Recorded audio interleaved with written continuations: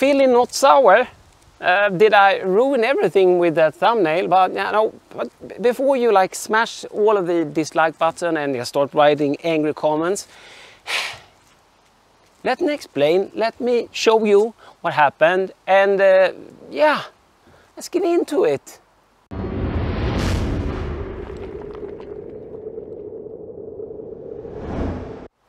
I'm Dr. Hans, this is Dr. Hans Brewery, my channel about beer and home brewing. If you want to learn with me how to become better at beer and brewing, consider becoming a subscriber. Of course, hit that little bell so you get notifications when I put out a new video and smash the like button. Yeah, and also consider supporting on Patreon or channel membership.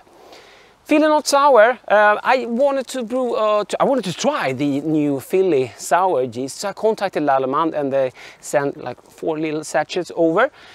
So I brewed up the, the first batch. I was going for, uh, I wanted to do like a fruity ale. I was going for lingonberry, but when I went to the store, it was super expensive. So I went with raspberries. Raspberry, you can always trust raspberries. Why am I explaining everything?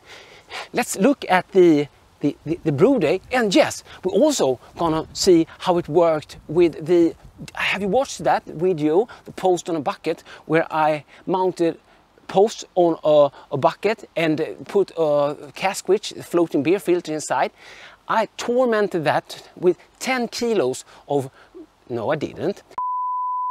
I tormented it with like five kilos, five kilos of raspberry so you're gonna see how that actually worked in this video. So double experiment, Philly sour yeast and the uh, post on a bucket with the Cask Widge, five kilos of, of, of raspberry going through that filter. Beer also. Yes, I'm all over the place. It's really hot today, like 30 degrees Celsius. I found some shade here. I'm gonna start off with the brewing footage, then we'll come back and taste the beer and talk more about all of this. Yes. Let's get naked. No, not again. Oh.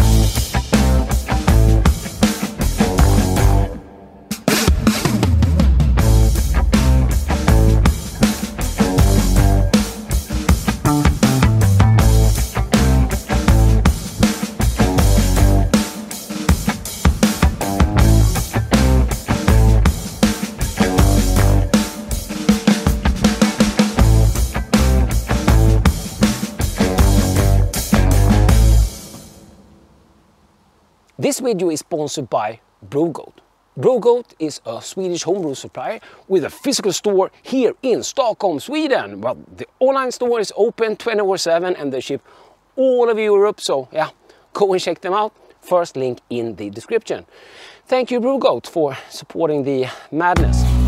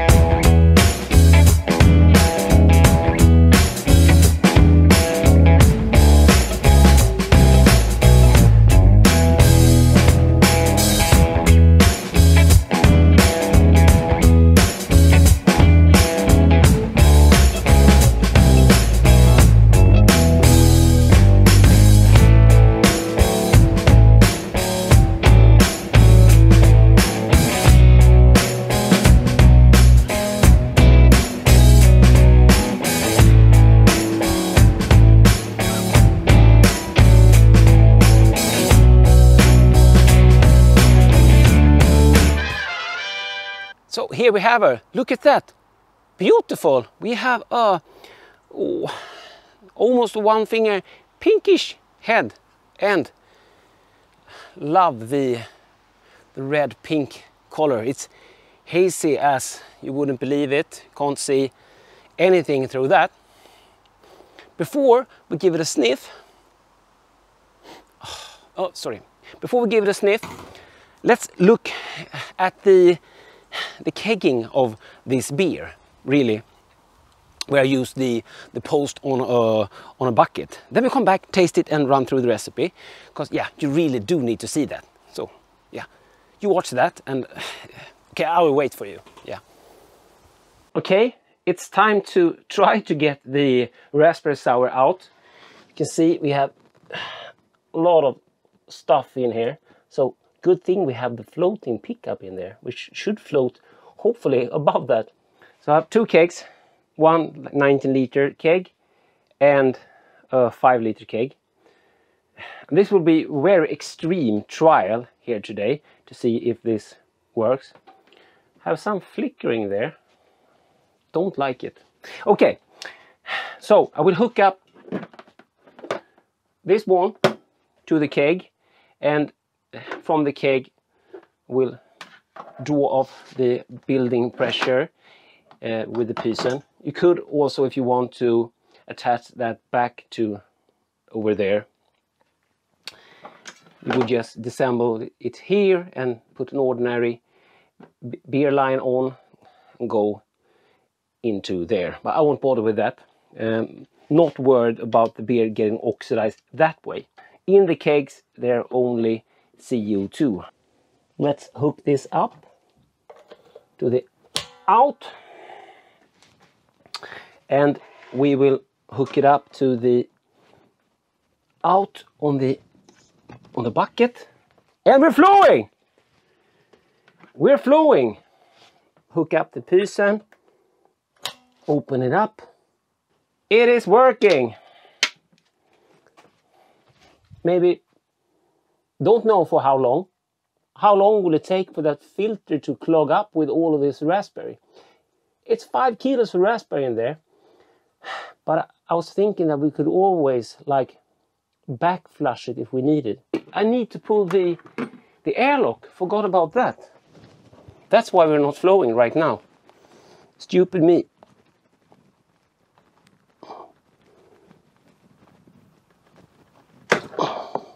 I'm not really worried about oxidization from here. It would have been much worse if we had been splashing here.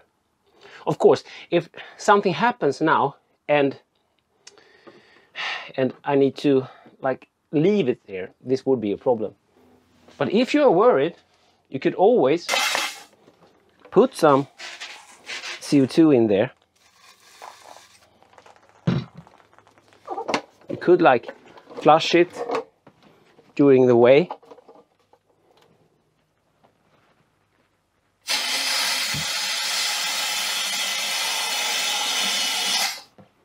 if you want to. Oh, smells nice. Smells like raspberry. It's not going fast. Look at the color of the beer.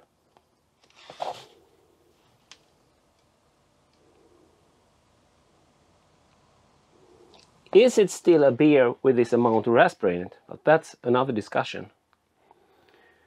It's going very slow, but at least for now it's working and see still have O2 in there CO2 sorry still have CO2 in here and I will continue to like flush it from now and then down to under 20 liters now so 9 liters has gone in so far it's super slow but it's a fine filter there and this is like worst case scenario I'm guessing but still it's going it's going down to 12 liters left from 29 liters. So we should be soon be full in here. And we will see here in the in the Pysen when beer starts to come so we can shut everything off. And this of course needs to chill down and carbonate. So need to put some gas on it. Nice, that is working so well. Very slow, but still working. No issues. Have been flushing the headspace every now and then with the soda stream machine. Uh, I I did release the RV here, but I didn't have to do that. I just had forgot to open, uh, put the lid on loosely here. Now I'm trying to get some more out of this. Don't know how much we will get out of this. But if it's a good one, every liter counts. As long as it's bubbling, we're transferring over.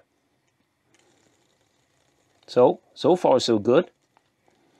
Let's see if we can get another five liters out of this. It would be awesome. I'm shocked that that, that filter didn't clog up from all that raspberry. And this wasn't, this hasn't even been cold crashed. We come to a stop here.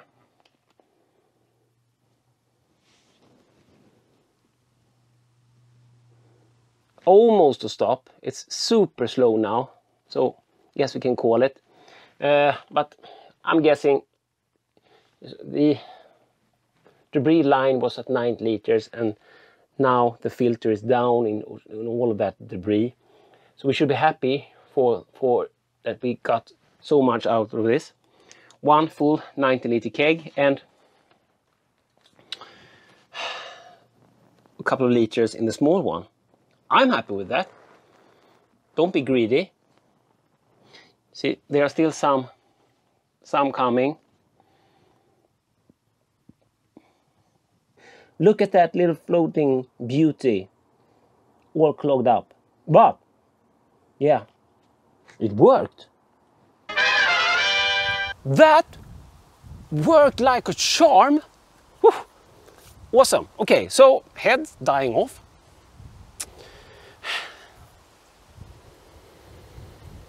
All I get is raspberry, but I did add five kilos.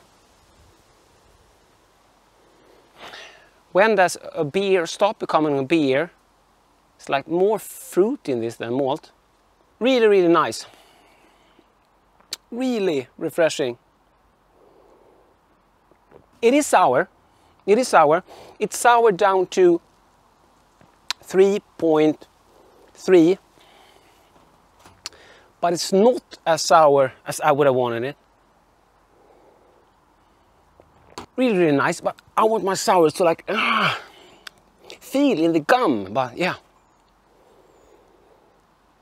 It is sour. I don't know why I why I did that, feeling not feeling not sour. It wasn't clickbait. It has been now in the keg for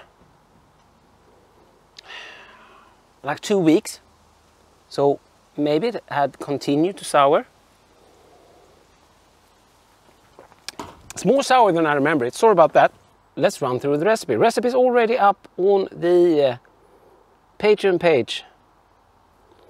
Both in written form and beer XMLs. Yes, it's a big Dr. Hans recipe book. Awesome.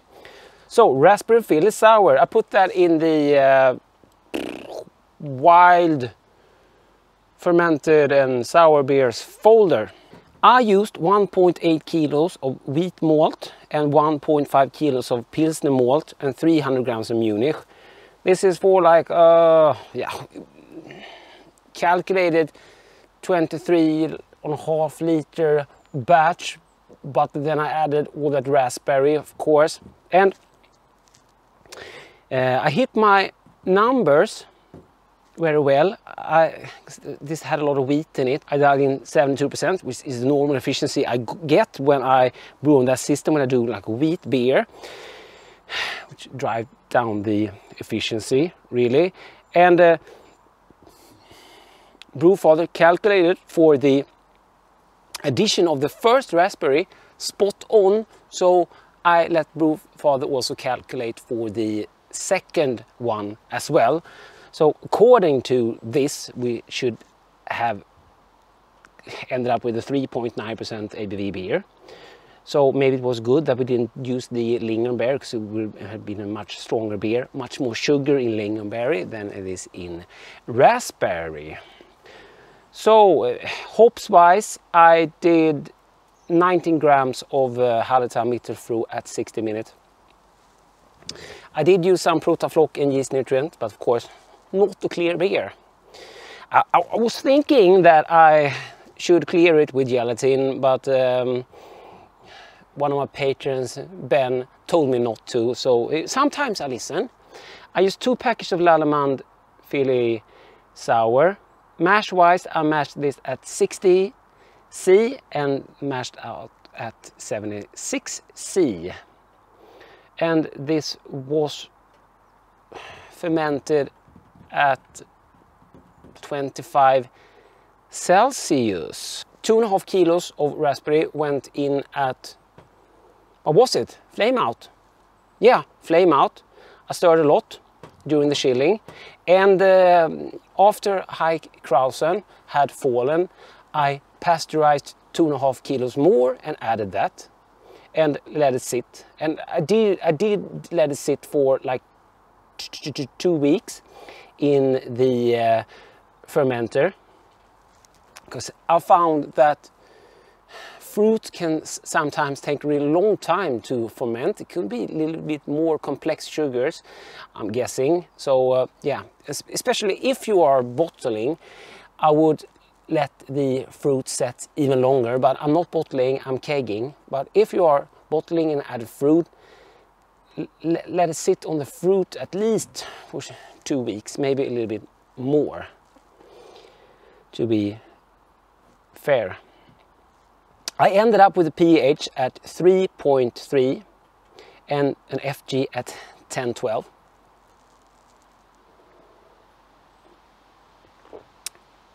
which is quite high. It's not high, but it's higher than I expected, and it's higher than Mr. Brewfather expected also.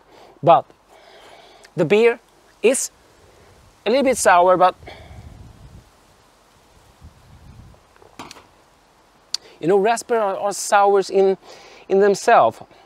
I would not call this like a like a sour beer, and this there is this thing with pH that we also must consider that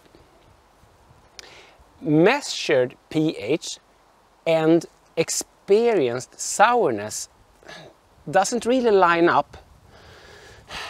And uh, now I realize that maybe I'm stupid that I didn't like nerd into that a little bit more because I, I, I know that that measured pH and experienced sourness ain't they they don't line up really but but why and how maybe some of you guys could explain down below in the comments. This is it's not about me being your your teacher.